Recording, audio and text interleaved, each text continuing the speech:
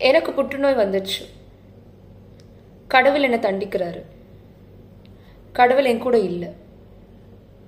இதுதான் பெரும்பாலும் நிறைய கேன்சர் சர்வைவர்ஸோட நான் பேசும்போது அவங்க சொல்கிற ஒரு விஷயமா இருக்கு. எனக்கே இப்படி வந்தது. கடவுள் ஏன் இப்படி ப- எனக்கு கொடுத்துட்டாரு? நான் என்ன செஞ்சேன்? இந்த மாதிரி நிறைய விஷயங்களை சொல்கிறாங்க ஸோ இதை பற்றி நம்ம இன்னைக்கு ஒரு கொஞ்சம் டீப்பாக பார்க்கலாம் இந்த வீடியோவில் இது கண்டிப்பாக வந்து பயனுள்ளதாக இருக்கும். நான் இது வரைக்கும் போட்ட வீடியோ வந்துட்டு நிறைய வீடியோஸ் போட்டிருக்கேன். ஃபுட்ஸ் பற்றி ஹெல்த் பற்றி எக்ஸசைசஸ் பற்றி எல்லாமே போட்டிருக்கேன்.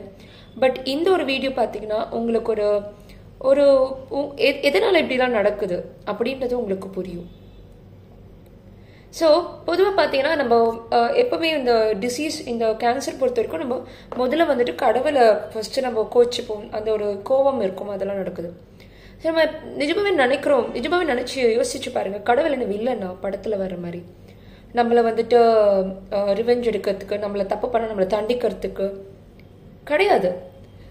கடவுள் வந்துட்டு கடவுளுக்கு நம்ம எல்லாருமே குழந்தைகள். நம்ம எந்த மதத்தை சேர்ந்தவராக இருந்தாலும் சரி ஹிந்துவாக இருந்தாலும் கிறிஸ்டியன் முஸ்லீம் நம்ம கும்பிடுற ஒரு ஒரு கடவுளும் நம்மளை வந்து ஒரு குழந்தைய தான் பாவிக்கிறாங்க. சொல்லப்போனால் நம்ம வாழ்க்கையில் கடவுள் வந்துட்டு ஒரு ஒரு ஆபத்தும் ஒரு ஒரு நிகழ்வுகளும் இல்லைன்னா எந்த ஒரு ஹெல்த் ரிலேட்டட் இஷ்யூஸாக இருந்தாலும் சரி எல்லாத்துக்குமே முன்னாடி ஒரு நிகழ்வு வர்றதுக்கு முன்னாடி ஒரு சிக்னல் நம்மளுக்கு வாழ்க்கையில் கிடைக்கும். ஒரு வார்னிங் சிக்னலோ இல்லைன்னா ஒரு சயின்ஸோ நம்மளுக்கு கிடைக்கும். பெரும்பாலும் நம்ம அதை கவனிக்கிறது கிடையாது. இப்போ அடுத்த கேள்வி வரும். ஏன் நம்ம அதை கவனிக்கிறது இல்லை? நீங்கள் சொல்கிறீங்க இல்லையா? கடவுள் சிக்னல்ஸ் கொடுக்குறாரு அப்படி இப்படின்னு. அப்போ ஏன் நான் அதை கவனிக்கிறது இல்லை அப்படின்னு நீங்கள் எனக்கு கேட்கலாம். ஸோ ஏன் கவனிக்கிறது இல்லை அப்படின்னு இந்த கேள்வியை நம்ம நான் மறுபடியும் பல த தரப்பட்ட மக்கள் கிட்ட சர்வைவர்ஸ் கிட்ட நான் கேட்டபோது அவங்க சொன்ன பதில் சுத்தி இருக்கிறவங்கள இல்லை தன்னைத்தானே எனக்கு வேலை இருந்தது எனக்கு வந்துட்டு பிஸி ஸ்கெடியூல் இருந்தது எனக்கு நிறைய வீட்டில் வேலை இருந்தது அதான் கவனிக்கலனா எனக்கு காமிச்ச சிம்டம்ஸ் சைன்ஸ் எதையுமே நான் கவனிக்கல அப்படின்னு ஸோ இதுக்கு பதில் என்ன அப்படின்னு பார்த்தீங்கன்னா நம்ம யாரையும் ப்ளேம் பண்ண தேவையில்லை. மற்றவங்களையோ இல்லை நம்மளை நம்மளையோ ப்ளேம் பண்ணிக்க தேவையில்லை. சொல்லப்போனால் நானும் அப்படியே தான் இருந்தேன். காலம் மாற மாற நம்மளுக்கு சில சில சில விஷயத்த கற்றுக் கொடுக்கும் நம்மளுக்கு. அதை நம்ம கற்றுக்கணும் அது யார்கிட்ட இருந்தாலும் சரி நம்ம கற்றுக்கிட்டே ஆகணும். கற்றுக்கிட்டா தான் நம்ம முன் செல்ல முடியும். ஓகேங்களா? ஸோ இப்போ இதுக்கு ஏ யாருமே ப்ளேம் யாரையும் ப்ளேம் பண்ண தேவையில்லை. இன்ஃபேக்ட் உங்களையும் நீங்கள் ப்ளேம் பண்ணிக்க தேவையில்லை. என்ன ரீசன் பார்த்தீங்கன்னா உங்களால் இதை கவனிக்க முடியல அப்படின்னா நீங்கள் எல்லாருமே நம்ம பெரும்பாலும் மனிதர்கள் இருக்கிற எல்லாருமே நம்மளோட வேர்ல்டு திங்ஸ் பீயிங்ஸில் அட்டாச் இருக்கும். இந்த உலகத்தில் எல்லாத்துக்கிட்டையும் நம்மளுக்கு ஒரு அட்டாச்மெண்ட் இருக்கும். நம்மளுடைய சக மனிதர்கள் நம்மளுடைய உறவினர்கள் நம்மளுடைய குழந்தைகள் ஃபேமிலி மெம்பர்ஸ் நம்மளுடைய தாய் தகப்பன் எல்லாத்துடைய ஒரு அட்டாச்மெண்ட் இது மட்டுமே இல்லை இது தாண்டி மணிக்கிட்ட அட்டாச்மெண்ட் இருக்கு. டிசைர்ஸ் இது வேணும் அது வேணும். அப்படின்ற அட்டாச்மெண்ட் இருக்கு எல்லாருக்குமே. ஸோ இந்த அட்டாச்மெண்ட்ஸ் இருக்கும் போது என்ன ஆகுது அப்படின்னா நம்ம கான்சென்ட்ரேஷன் ஃபுல் ஃபுல்லாக அந்த அட்டாச்மெண்ட் கிட்டேயே தான் போய் சுற்றிக்கிட்டு இருக்கோம். எய்தர் மனிதர்கள் இல்லைன்னா திங்ஸ் கிட்ட மெட்டீரியல் மணி அதுகிட்ட. அப்போ நம்மளுக்கு கிடைக்கிற அந்த சிக்னல் சயின்ஸ் நம்ம கவனிக்கிறது இல்லை ஸோ சயின்ஸ் சிக்னல்ஸ் கடவுள் எப்படி கொடுப்பாரு அப்படின்னு பார்த்தீங்கன்னா நம்மளுக்கு நம்ம கிட்டேருந்தே நம்மளுக்கு சயின்ஸ் கிடைக்கும். நம்ம நம்மளுக்கு இன்ட்யூஷன் கிடைக்கும்.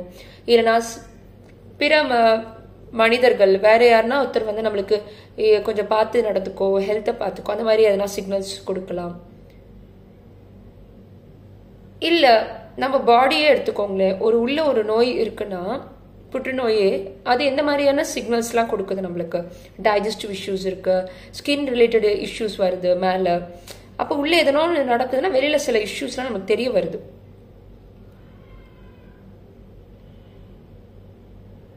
ஸோ பாடி காமிக்கிற இந்த இஷ்யூஸுமே கடவுள் கொடுக்கறது தான் இஷ்யூஸ் மாதிரி நம்மளுக்கு தெரிவிக்கிறது தான் ஏன்னா இந்த நம்மளோட இந்தோட சரீரம் இந்த உடம்பு இந்த பாடி பார்ட்ஸ் ஃபங்க்ஷனிங் எல்லாமே வந்து கடவுள் அழகாக படைச்சிருக்காரு. மனிதர்களுக்கு பாடி இப்படி இப்படி ஃபங்க்ஷன் ஆகணும். எல்லாமே ஒரு ஒரு ஒரு யூனிவர்ஸில் ஆல்ரெடி இட் இஸ் தேர் நம்ம அப்போ நம்ம பாடி எவ்வளோ அழகாக இயங்குது. ஒரு ஒரு பாட்டும் ஒரு ஒரு அறிகுறி காமிக்குது நம்மளுக்கு அவ்வளோ அழகாக ஸோ அகைன் இந்த சுப்ரீம் பவர் கடவுள் அங்கே இயங்குறாரு. ஸோ அப்போ அவர் பாட்டிக்கு அவர் இயக்கத்தை புரிஞ்சுட்டு தான் இருக்காரு. எல்லா விதமும் நம்மளுக்கு சிக்னல்ஸ் கொடுத்துட்டு தான் இருக்காரு மேலேருந்து ஆனால் நம்ம கவனிக்கிறது இல்லை ஏன்னா நம்ம எல்லாருக்கிட்டையும் அட்டாச்சாக இருக்கும். அந்த அட்டாச்மெண்ட்டை கொஞ்சம் தவிர்த்துட்டு கடமைகளை செய்யலாம். எல் நம்மளுடைய ஃபேமிலியில் கடமைகளை செய்யலாம். பட் அட்டாச்மெண்ட் ஓவராக இல்லாமல் நம்மளுடைய அதே மாதிரி டிசைர் அதிகமாக இல்லாமல் நம்மளுக்கு நம்மளே உள்ள உள்ளே போய் இன்ட்ராஸ்பெக்ட் பண்ணணும். என்ன நடக்குது நம்மளுக்குள்ள அப்படின்னு டெய்லி கொஞ்ச நேரம் ஒரு அரை மணி நேரமாச்சு ஒரு மெடிடேஷன் பண்ணிட்டு சைலண்ட்டாக சைலன்ஸில் போயிட்டு நம்ம மெடிடேஷன் பண்ணும்போது நம்மளுக்கு புரிய வரும் நம்மளுக்குள்ள என்ன நடக்குது அப்படின்னு சொல்லிட்டு. சைலன்ஸ் தான் இஸ் த பெஸ்ட் மெடிசன் அதுலேயும் அந்த மெடிடேஷன் பண்ணும்போது கடவுள்கிட்ட நம்ம கடவுள்கிட்ட வி ஆர் கம்யூனிங் நம்ம கடவுளோட ஒரு சக்திகளை நம்ம இயங்குற மாதிரி நம்மளுக்கு ஒரு இது இருக்கும். நம்ம அப்போ அந்த அமைதியாக இருக்கும் போது தான் நம்மளுக்கு நிறைய விஷயம் புரிய வரும் வாழ்க்கையில். அப்போ நம்மள அமைதியாக நம்ம ஸ்லோ டவுன் ஆகிட்டோம்னா நம்ம பாடியில் க அறிகுறிகள்லாம் நமக்கு தெரிய வரும். நம்ம ஃபாஸ்ட் ஃபாஸ்ட்டாக ஃபாஸ்ட் ஃபாஸ்ட்டாக ஓடிட்டு இருக்கிறதுனால தான் ஃபாஸ்ட் இது பண்ணணும் அதை பண்ணணும்னா இதை நோக்கி போடணும் அதை பண்ணணும் அதை எஸ்டாப்ளிஷ் பண்ணணும் இதை எஸ்டாப்ளிஷ் பண்ணணும். இந்த காம்படிட்டிவ் வேர்ல்டில் நம்ம ஓடிக்கிட்டே இருக்கிறதுனால தான் நம்மளுக்கு நிறைய விஷயம் தெரிய மாட்டேங்குது. அதே மாதிரி மற்றவங்ககிட்ட இந்த எக்ஸ்பெக்டேஷன்ஸும் வச்சுட்ருக்கோம் ஸோ இந்த எல்லாமே நம்மளுக்கு இந்த கூச்சல் குழப்பம் நிறைந்த இந்த உலகத்தில் நம்மளுக்கு நம்மளுக்கு என்ன நடக்குதுன்னு தெரிய மாட்டேங்குது. ஸோ இந்த இந்த வீடியோட main பர்பஸே get into yourself deeply meditate daily வந்துட்டு சைலன்ஸில் இருங்க. உங்களுக்குள்ளே என்ன நடக்குது? எந்த மாதிரியான உணர்வுகள் உங்களுக்கு? ஏன் உங்களுக்கு கொஞ்ச நாளாக கோவம் வருது? ஏன் உங்களுக்கு கொஞ்ச நாளாக எரிச்சல் வருது?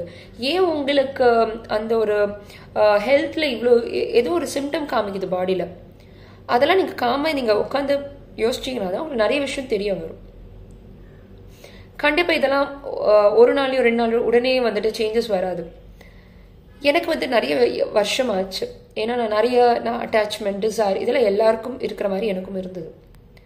ஆனால் ஒரு கட்டத்தில் நம்ம வந்துட்டு ஏன் இதெல்லாம் நடக்குது? ஏன் இவ்வளோ நடந்துட்டுருக்கு? ஏன் இவ்வளோ விஷயம்? ஏன் எது பண்ணாலும் சாட்டிஸ்ஃபேக்ஷன் கிடைக்க மாட்டேங்குது? அப்படின்னு ஆராயும் போது தான் நம்மளுக்கு தெரியும். நம்ம அமைதியாக இல்லை. பீஸ் ஆஃப் மைண்ட் நம்மளுக்குள்ளே இல்லை. பீஸ் ஆஃப் மைண்ட் இல்லைனாலே இன்னர் பீஸ் இல்லைனாலே நம்மளுக்கு எல்லாமே வாழ்க்கையில் Uh, இஷ்யூவஸ் நம்மளுக்கு எந்த ஒரு இஷ்யூமே நம்மளால சால்வ் பண்ண முடியாது. எந்த ஒரு ப்ராப்ளம்ஸும் சால்வ் பண்ண முடியாது. எந்த ஒரு ப்ராப்ளம்ஸோட அறிகுறியும் நம்மளுக்கு தெரியாது. மனது வந்துட்டு அமைதியாக இல்லைன்னா கூச்சலாக இருந்ததுன்னா மனது குழப்பமாக இருந்ததுன்னா ஒன்றுமே தெரியாது நம்மளுக்கு. So get into the deep introspection mode உங்களை டெய்லி கொஞ்சம் அமைதிப்படுத்திக்கிட்டு இதை யோசிச்சு பாருங்கள் நான் ஆல்ரெடி ஒரு ஃப்ரேம் ஒர்க் முன்னாடி வீடியோ போட்டிருக்கேன். ஸ்லோ ஃப்ரேம் ஒர்க் சொல்லிட்டு. அதே தான் இங்கே மறுபடியும் applicable stop look observe win stop look observe வின்னா first கொஞ்சம் நிறுத்துங்க. ஓடிக்கிட்டே இருக்காதீங்க இந்த வேகமான உலகத்தில். ஓடி ஓடி நம்ம எங்கேயும் போக போகிறது இல்லை கடைசியில். ஸோ ஓடாமல் நிறுத்து நிதானமாக ஸ்டாப் பண்ணிவிட்டு உங்களை நீங்களே ஆராய்ச்சி பண்ணுங்கள் லுக் லுக் இன்சைட் அப்சர்வ் ஆராய்ச்சி பண்ணுங்கள் என்ன நடக்குதுன்னு. உங்கள் தாட்ஸை ஆராய்ச்சி பண்ணுங்க. உங்களுடைய ஹெல்த்தை ஹெல்த்தோட உடல்நிலையை ஆராய்ச்சி பண்ணுங்கள் உங்களோட சிம்டம்ஸ் எதனா காமிக்குதானே ஆராய்ச்சி பண்ணுங்கள் இதெல்லாம் நீங்கள் பண்ணிங்கனாலே வின் பண்ணலாம். Again winning here is not doesn't mean winning by money காசு வின் பண்ணுறதோ இல்லைன்னா நம்ம ஃபேம் அடைகிறதோ um, புகழ் இதெல்லாம் வின்னிங் கிடையாது. நிஜமான வின்னிங் என்னன்னா peace of mind and internal joy அதுதான் நிஜமான வின்னிங் வாழ்க்கையில். ஸோ இதெல்லாம் வந்துட்டு um, நான் ஏற்கனவே சொன்ன மாதிரி நிறைய வருஷம் ஆச்சு இதெல்லாம் புரிஞ்சுக்கிறதுக்கு. பட் எனக்கு அது புரிஞ்சது உங்ககிட்ட ஷேர் பண்ணணும்னு நினைக்கிறேன். ஸோ தட் நீங்கள் அந்த ஒரு நம்மளுக்கு எல்லாருக்குமே மனிதர்களாக இருக்கிற எல்லாருக்கும் அந்த இயலாமை சில நேரம் உங்களுக்கு அந்த மாயான்னு சொல்லுவாங்க. அந்த இல்யூஷன் நம்மளை கண்ணுக்கு முன்னாடி நம்மளை எதுவுமே பார்க்காம பண்ணிடும். திரை மாதிரி வந்துடும் நம்மளுக்கு எதுவுமே பார்க்க முடியாமல் ஸோ அந்த ஒரு இல்யூஷனை நம்ம தகர்த்து எறியணும் அப்படின்னா நம்ம சைலண்ட்டாக மெடிடேட் பண்ணணும். ஓகேங்களா ஸோ இந்த வீடியோ உங்களுக்கு ஹெல்ப்ஃபுல்லாக இருந்தால் கண்டிப்பாக மற்ற நண்பர்களுக்கு உறவினர்களுக்கும் ஷேர் பண்ணுங்கள் ஓகேங்களா மேலும் உங்களை பல பயனுள்ள தகவல்களுடன் மற்றொரு வீடியோவில் சந்திக்கிறேன். அண்டில் தென் உங்களுடைய Ashwini Purushothaman cancer champion coach signing off thank you bye bye வாழ்க வளமுடன்.